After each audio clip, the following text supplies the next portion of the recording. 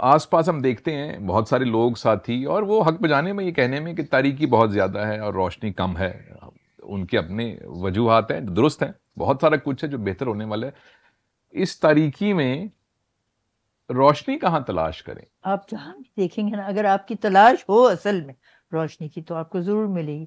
کل مجھے ایک ادارے نے مدعو کیا کہ ان کی چالیس سال ہو گئے اور ان کے ادارے کا نام تھا پینتھر ٹائر۔ انہوں نے پہلی دفعہ پاکستان میں ٹائر بنانے کا یہ شروع کیا سلسلہ۔ اور میں سمجھوں کہ یہ بہت بڑی بات ہے بجائے کہ ہم باہر سے جو منگا رہے ہیں ہمارے اپنے ٹائر ہیں وہ ریڑی میں بھی لگتے ہیں موٹر سائیکل میں بھی لگتے ہیں ہر چیز میں۔ اب وہ پینتھر کا نشان انہوں نے کیوں رکھا؟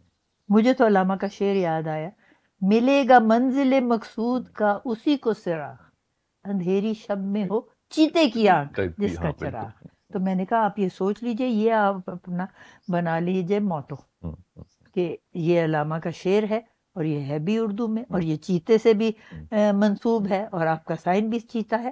اور آپ صرف اپنے آپ کو محدود نہ رکھیں ٹائروں تک نیسلے کا یہ حدود بنتا ہے۔ اب فارمولا جو ہے وہ ہمیں ملا ہوا ہے اور ہم بناتے ہیں لیکن فرینچائز ہماری نہیں ہے۔ تو جو بھی ہم کرتے ہیں اس کا ہم باہر رائلٹی بھیجتے ہیں۔ آپ کوئی پینتھر کے نام سے بنائیں۔ تاکہ وہ بچوں کے لیے بھی آسانی ہو اور ہمارے لیے بھی آسانی ہو۔ اسی طریقہ میں دیگر جو ہے مصنوعات، وہ آپ بناتے جائیے۔ جتنی آپ ڈائیورسٹی اور ڈائیورسٹی کا میں نے لفظ دیکھا، اتنا مشکل تھا کہ میں نے سوچا میں ڈائیورسٹی کہہ دوں تو شاید آسان ہے۔ یہ بہت مشکل لفظ جو ہے نا۔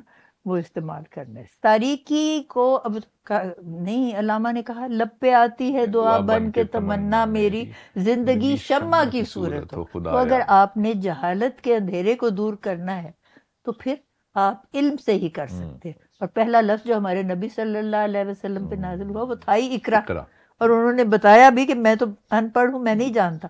تو کہا جی آپ اکرا بسم ربے کا اس سے دیکھیے کہاں سے کہاں ہم پہنچ گئے۔ اب تو ہمارے وہاں یونائٹڈ نیشنز میں بھی اینٹی اسلامی فوبیا پندرہ مارچ کا دن جو ہے وہ اجرا ہوا ہے۔ میں سمجھتی بہت بڑی بات ہے ہمارے لیے۔